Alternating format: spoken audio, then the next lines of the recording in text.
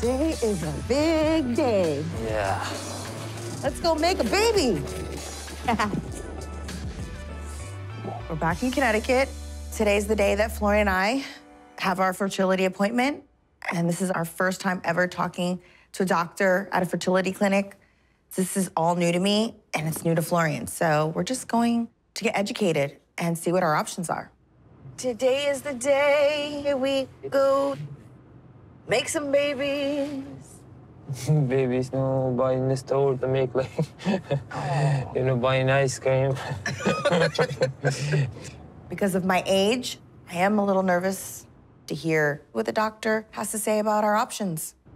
The older I get, you know, the harder it gets. Are you nervous? no. Not nervous. It's, a big day. It's a big day. This is There's like nothing wrong to be nervous. we're to be not. I know. I know. I'm not saying like a, a, a bad nervous, like a good nervous. Like today can really affect the rest of our lives. I mean, what if he tells him something we don't want to hear? Like, man, a little Okay, but I'm that, here for you.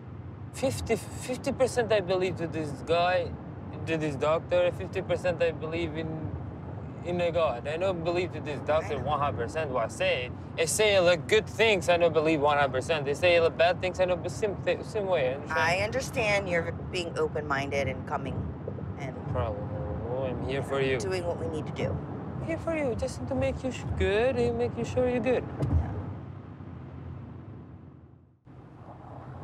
Imagine I have twins. Ooh, oh boy, double trouble. Double trouble. Mm, you want twins? We'll be uh, never sleeping, that's for sure. Sure. I know what it's like to be a twin. I don't know what it's like to raise a twin. Sure. Like I have twins like and Stacey. Ah, God help me. Baby, so blue eyes. Oh yeah. Oh, yeah. Mm-hmm. The name is Joseph, the name. Oh, we have a little boy, name him Joseph. Yeah. Yeah. What about girl? Girl names in Albanian? Katerina. Katrina. Yeah. Oh, that was my name in French class in high school. Catherine. Yeah. All right, baby. My God. This is it. This is the moment we've been talking about. And Oh, yeah. all right, we're here. Today could be the start of something new. Little baby, little bambino. Bambino. Hello, Hey, how are you? Stacey, Florian. Welcome. Hello. Please come in. you. Will you be my baby daddy for Baby. life? Yeah. Well, It's a pleasure to meet you. Yes. So I'd like to hear your story.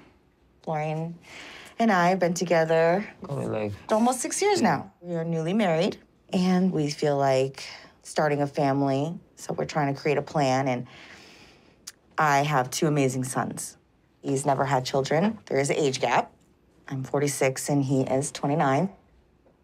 So we wanted to consult with you to see what our options are. Mm-hmm. Have you been trying to get pregnant? Um, you know, it's, it's active lifestyle. We don't use protection, so hasn't happened yet. So typically, after you've tried for a while and you haven't been successful, I usually suggest that you do some testing. Okay. My concern is, of course, your age. Yeah. Once you get into your 40s, the number of eggs that you have is reduced, and you see very sharp decline in success. Of course, you know, there is an option to take your eggs and actually mix the eggs with the sperm and make embryos. Mm. That's called IVF. Mm-hmm. But there is another option nowadays. If you basically take your eggs and freeze them, and then keep the eggs until such time where you're ready to have a baby. Yeah. But the, the, the thing is, because of the age factor, I think you need to be more aggressive in, as far as the approach. Mm-hmm. This is starting to feel really real. I'm hoping that I have at least a year or two. But I'm 46, and I just need to know for myself, you know, how my body's doing. It's the unknowing is what's scary. Nothing fears here. The odds are slim that it to happen naturally, I guess. I, I don't know. I mean, Yes, I think the odds are slim that it will happen naturally. you know, I feel like freezing the eggs or, you know, um, would probably be the right solution. The next step would be to do the testing. Okay. So to figure out where you are and what your chances are. So typically at the very beginning, we do some blood work, we do an ultrasound, and we test your egg production because it's, it's a little bit hard to determine how good they are. I need to take these tests because I need to know what's my egg count, what's going on, am I able to have children with Florian? The test is everything. And that scares me. So the window of time we have is not years. Are you talking months? You should not delay.